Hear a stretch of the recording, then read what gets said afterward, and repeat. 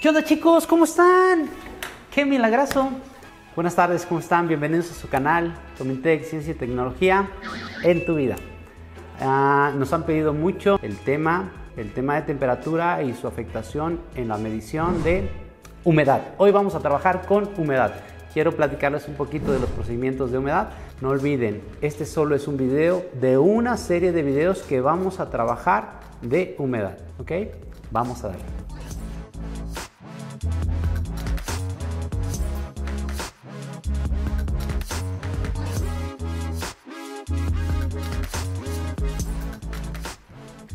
Bueno chicos, como les había dicho, hoy vamos a hablar de humedad.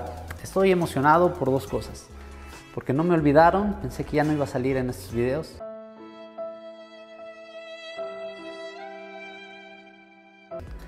Y porque humedad es un tema que me apasiona mucho. Me gusta mucho porque son muchas variables, no es tan complicado. Desde que iba en la escuela eh, había problemas con los temas de, de humedad, me costó un poco de trabajo a mí entenderlo, pero Hoy en día, ya después de 20 años en el mercado, pues bueno, puedo platicarles de algunas cosas de humedad.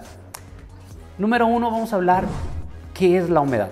Humedad, muchas personas lo entienden como la cantidad de agua presente en un material. Híjoles, en inglés, ¿qué creen? No se llama humedad, no le dicen humedad, no le dicen humidity, le dicen moisture. ¿Qué es moisture?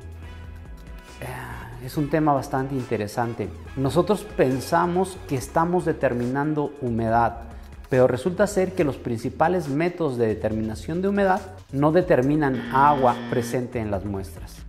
Agua habla de la molécula de agua, mientras que humedad estamos hablando de una sensación perteneciente de un cuerpo, de un material, por una afectación de líquidos. Es decir, la humedad es la cantidad de líquidos contenidos dentro de una muestra. Eso ya nos mete en problemas.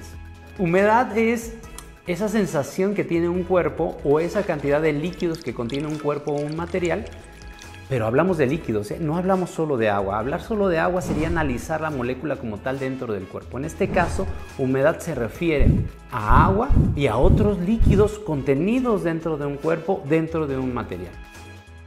Quiero decirles que la humedad tentativamente tendría que ser considerado como agua presente en una muestra. Pero ¿qué creen? Resulta ser que el método más importante para determinación de humedad se llama peso constante. Peso constante es colocar una muestra dentro de un crisol, meterla a un horno de secado. Previamente el crisol se pesó junto con la muestra. Después lo coloco en una estufa, normalmente a 110 grados centígrados. Después de varias horas determinas el peso y lo que se perdió, ¿qué crees? Lo que se perdió es lo que se considera humedad. El problema de este método es que es muy tardado, que necesitamos un horno, necesitamos guantes, necesitamos no tocar eh, el crisol con las manos porque dejamos grasa, necesitamos tomar ciertas consideraciones. Oye, pero ¿qué? ¿El agua es lo único que se evapora a esa temperatura? No, claro que no. Si el material contiene elementos volátiles, contiene alcohol, por ejemplo, contiene algún compuesto orgánico que pueda volar, ebuir, evaporarse, a esas temperaturas, pues no fue solo humedad, ¿verdad? Por eso es que en otros idiomas no le llaman humedad. Moisture es todo lo que se desprende en la temperatura de ebullición del agua. Existen otros métodos, por ejemplo el de conductancia. El de conductancia es pasar una carga eléctrica y entonces el agua presente en un material como madera, por ejemplo, textil, como un cartón, un papel, podemos colocar, pasar una corriente eléctrica y ver cuánto pasó. Dependiendo de la cantidad de agua contenida, pues va a ser la cantidad de energía conducida. Hay métodos como la termobalanza, que no deja de ser un método de peso constante. Comintec, buenas tardes. Entonces surgió la maravillosa termobalanza. De esa termobalanza te voy a dejar aquí un, link porque te vamos a dar un video solamente hablando de termobalanzas. Y es lo mismo, en una termobalanza colocamos un, un plato de pesaje, ese plato de pesaje se va a tapar, la termobalanza tiene una fuente de calentamiento que puede ser una lámpara, que puede ser una resistencia, va a calentar la muestra, va a perder peso y entonces automáticamente la termobalanza te va a determinar cuánto se perdió y por ende qué humedad tuvo.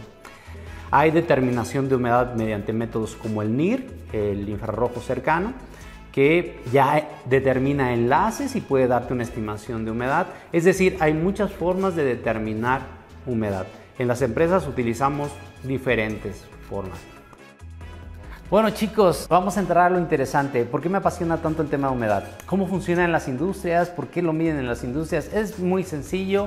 Fíjense que en, mi experiencia Resulta ser que muchas empresas, sobre todo en harinas, granos, donde reciben materia prima que es natural, el tema de la humedad es vital importantísimo. Y yo me preguntaba por qué. Pues resulta ser, número uno, que pagan las cosas por peso. Entonces, de repente llevaban grano, algunos malvados, los me decían, antes de llegar a la empresa, para que pesara más. Después de cierto tiempo se secaba y entonces pagaban más por menos producto.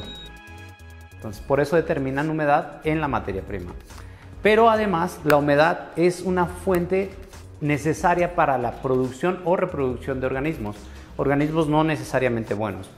Hay veces que la harina se generan hongos, los alimentos se genera desarrollo microbiano indeseable y todo es debido a la humedad. Entonces deben de controlar la humedad para evitar que esto se, se desarrolle.